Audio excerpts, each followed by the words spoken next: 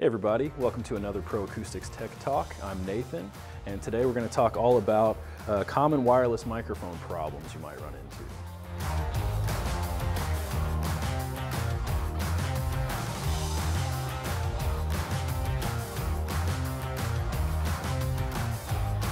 All right, so today we're going to talk about some common problems with wireless microphones that we hear about.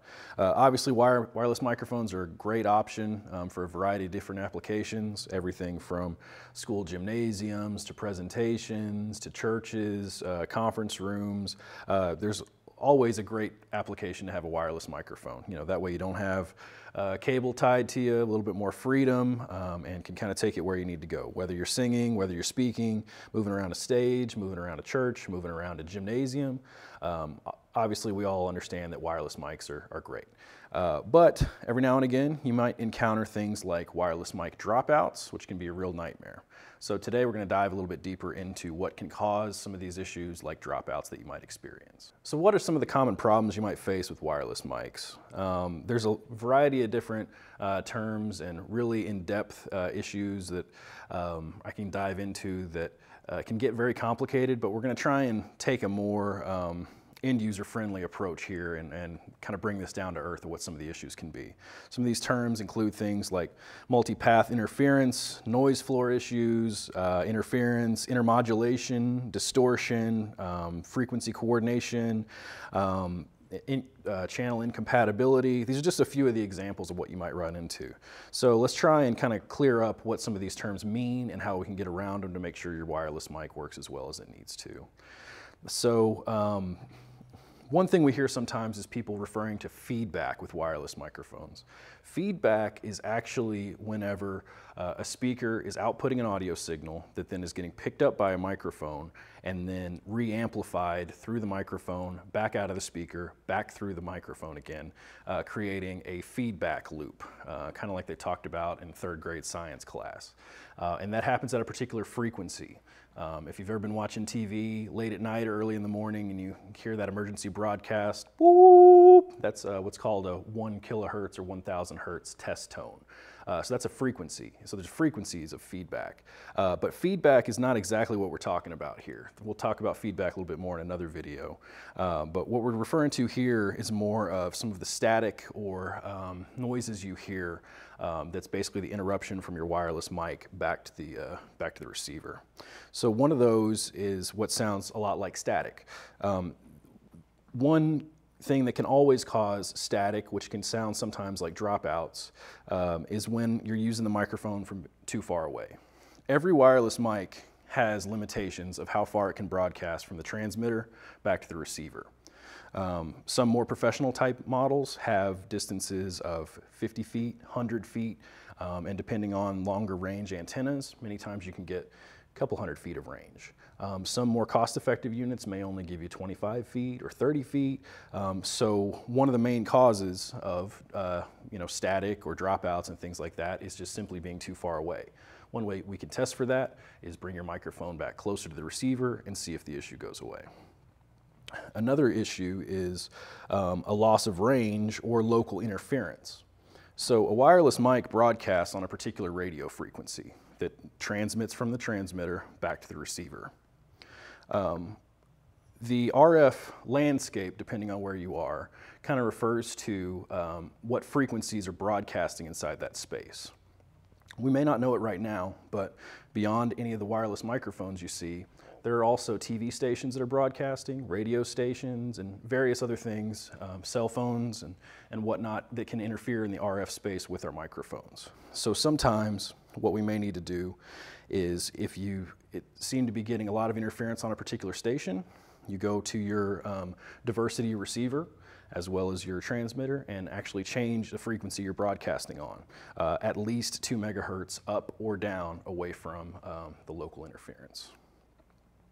Another issue that can pop up is what's called multipath interference, which is when sound waves travel uh, from the transmitter and combine in other locations before it reaches back to the antenna. Uh, idea is we want to try and have as clear of line of sight from our transmitter back to our receiver as possible so that uh, we don't have to worry about reflections from glass walls um, or uh, a brick that may have excessive rebar in it that doesn't allow the transmission of the um, RF waves through that wall.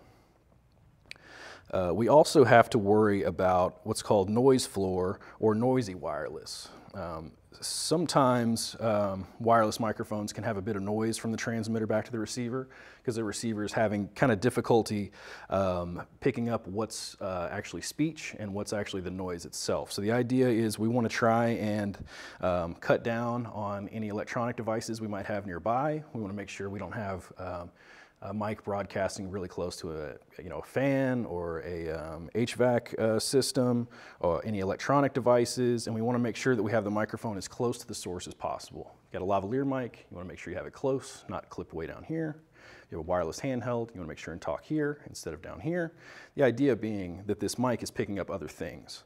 Um, the other issue that can kind of pop up there is that many times, many wireless receivers will have a squelch setting where you can actually kind of set how much noise is going to be allowed through the receiver versus, um, you know, kind of knocking off some of that noise. The issue maybe there is that you turn up squelch too high. Now you can no longer hear some of the plosives or quieter syllables that are coming through your transmitter. Um, but many, many of the uh, receivers out there have an option to adjust that to try and make your microphone sound as good as possible. Another issue we sometimes come across with multiple wireless systems is called intermodulation. Um, here I have a single wireless receiver for one wireless microphone. As you see, it has two antennas. The idea is if one of these antennas is having difficulty picking up this transmitter, uh, the receiver will switch to the signal from the other receiver. That's good in that it can help prevent um, you know, any interference on any one um, antenna. It, will automatically switch to the other to, as seamlessly as possible, make sure you can still have your uh, wireless microphone coming through. The issue arrives though if we're doing lots of wireless mic systems in one rack or one space. If we were to have, say, four of these receivers for four wireless microphone channels in one rack, that's eight antennas. Now, if I'm using my handheld and it's broadcasting back to eight antennas, sometimes there can be interference uh, and confusion you know, from this transmitter of how does it get to the appropriate antenna. So the idea is in those kind of situations, we generally want to use antenna distribution or um, which allows us to use just a pair of antennas or a higher gain antenna rather than just using all the individual antennas that come with the unit.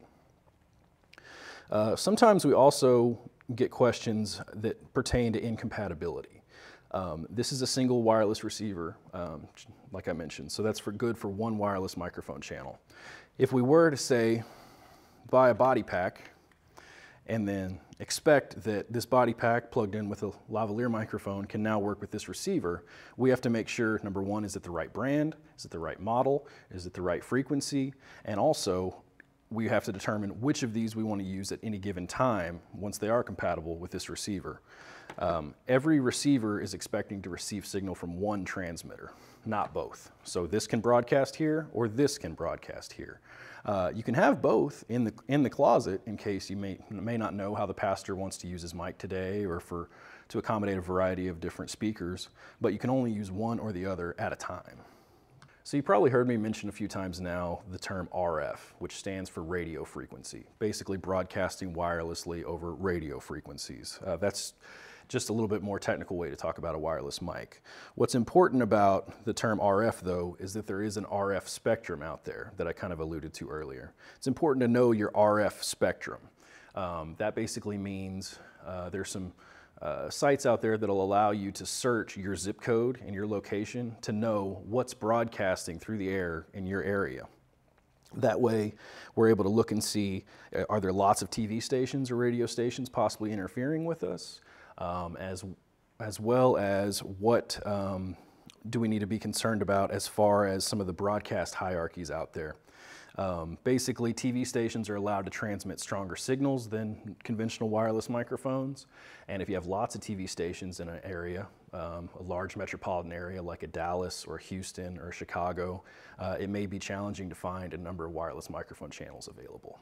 We can always help with that, so just make sure and have that information handy if you're needing help with a wireless microphone when consulting us. So now that we've kind of outlined some of the problems, let's take a look at you know, some tips of what we can do to cut down on wireless microphone issues.